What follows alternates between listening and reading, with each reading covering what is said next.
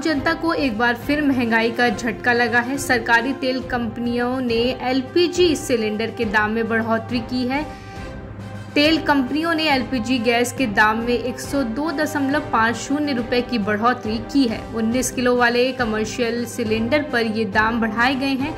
दाम बढ़ाने के बाद अब इस सिलेंडर की कीमत तेईस सौ पचपन दशमलव पाँच शून्य रुपये हो गई है, जो पहले बाईस सौ तिरानवे रुपये हुआ करती थी। वहीं पाँच किलो का एलपीजी सिलेंडर की कीमत इस वक्त छः सौ पचपन रुपये है। बता दें, इससे पहले अप्रैल महीने की पहली तारीख को एलपीजी सिलेंडर की कीमतों में दो सौ पचास रुपये की बढ़ोतरी हुई थी।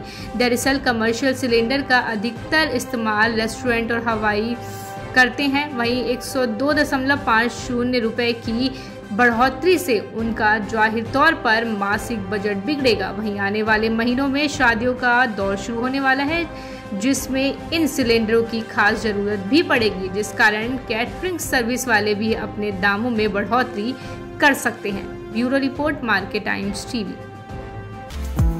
अब नहीं जाना पड़ेगा कहीं।